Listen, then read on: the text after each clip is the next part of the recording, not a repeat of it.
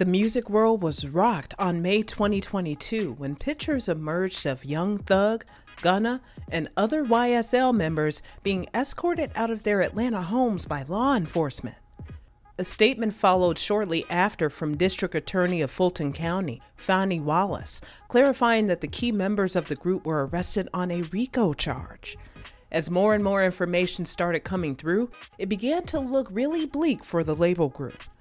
Nobody would have ever imagined that seven months later, Gunna Wunna, whose real name is Sergio Kitchens, would be a free man.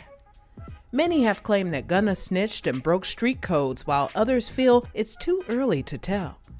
In this video, we shed light on the situation by deep diving into the case. On May 2022, a grand jury indictment was brought up against the rap collective called Young Slime Life, YSL, and some of its members, including Thug, Lil Duke, and Gunna.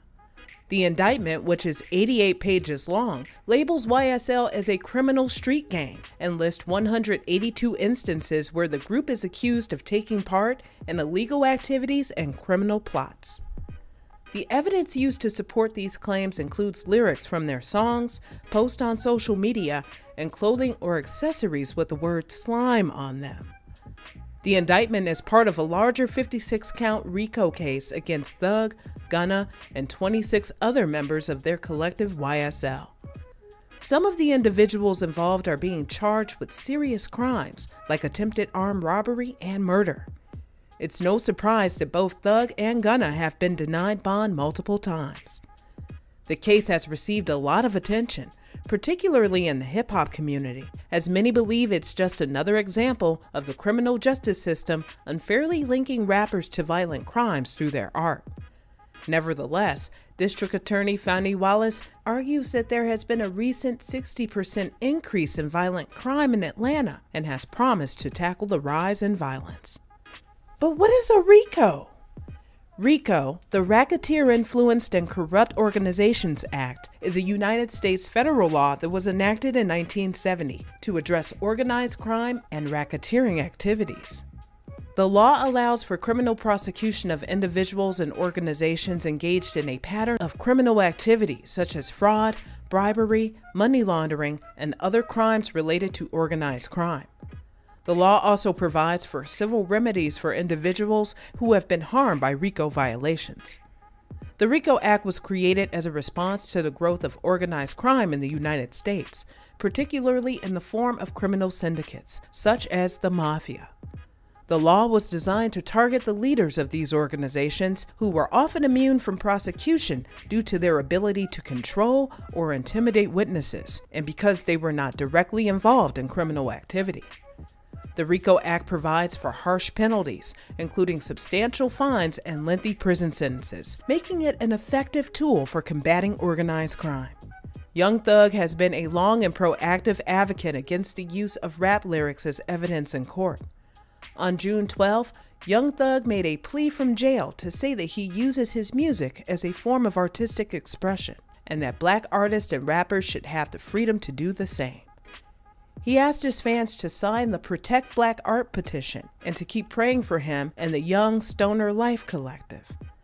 The petition, co written by Kevin Liles and Julie Greenwald, CEO of 300 Entertainment and COO of Atlantic Records, respectively, calls on federal and state legislators to adopt laws that limit the use of rap lyrics as evidence in court.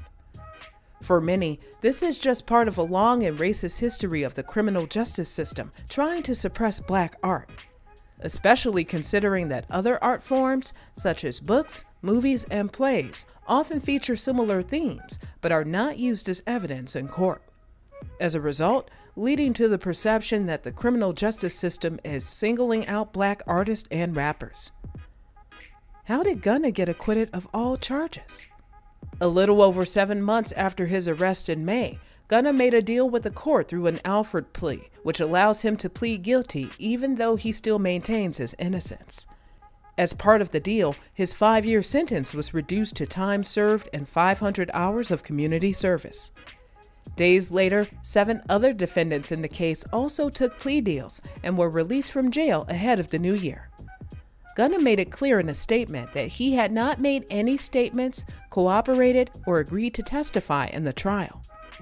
He told WSB, While I have agreed to always be truthful, I want to make it perfectly clear that I have not made any statements, have not been interviewed, have not cooperated, have not agreed to testify or be a witness for or against any party in the case, and have absolutely no intention of being involved in the trial process in any way.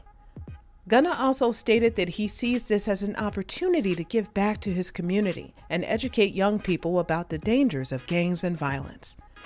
The plea meant that all defendants had to admit that YSL is not just a label, but a gang that poses a danger. So what? Well, the prosecution claims that YSL is a criminal street gang that has affiliation with the National Bloods gang, and some associates claim the Blood subset gangs Sex Money Murder or 30 Deep. And according to them, Young Thug is the leader and the heartbeat of this YSL criminal organization. Therefore, the bulk of the charges are set to fall onto him. Gunna isn't the only one who copped a plea deal. However, as Young Thug's brother Quintavious Grier, also known as Unfoonk, Lil Duke, as well as the YSL co founder Walter Murphy. Still, as one of the most high profile celebrities in this case, all the attention has been placed onto him.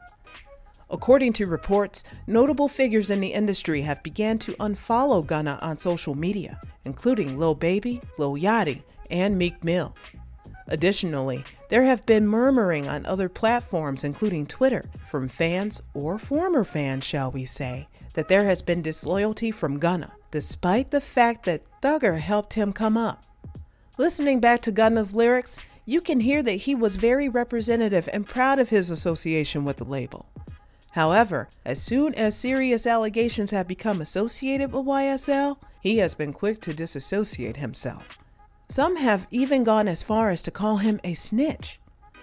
Although he hasn't actually made a statement or testified against Young Thug, by admitting that YSL is a gang, he has hammered in the last nail in the rapper's coffin. Gunna further added fuel to the fire when he posted onto social media after his release with a picture of himself at his luxurious home. While this may seem tame, it was the caption that got people going. They acting like they switching to a side, but it's only one side.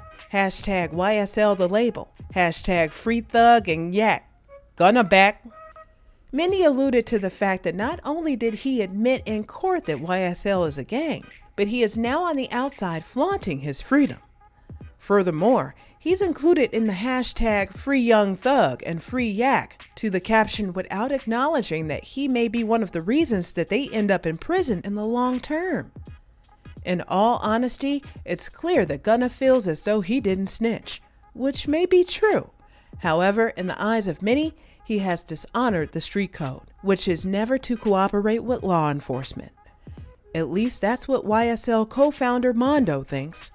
Speaking with Murphy Lee on the Ugly Money podcast, he let his frustrations be known. I always said, bruh, he was a good, genuine, but certain makes you do certain.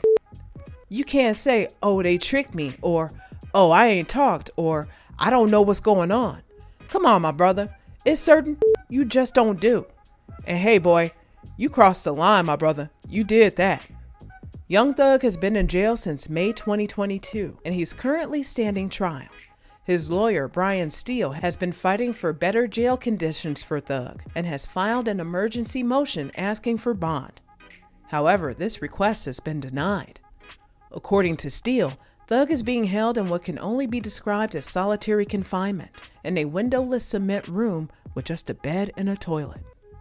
There's an overhead light that remains on 24 7, making it impossible for Thug to sleep or rest. He has no access to any media or the internet, and he can't exercise, shower, or have any human contact. Gunna has also spoken out against these inhumane conditions in a post on Instagram, where he shared an open letter with his followers. Jury selection for the trial began on January 4th and is expected to last until February. Until then, we'll have all the details to keep you in the loop as they break. But for now, let us know in the comments below whether you think Gunna still has a future in the music industry. Or are there no morals when good music and money is involved? 6 9 comes to mind. Also, don't forget to like, subscribe, and hit that bell button for notifications on our next video.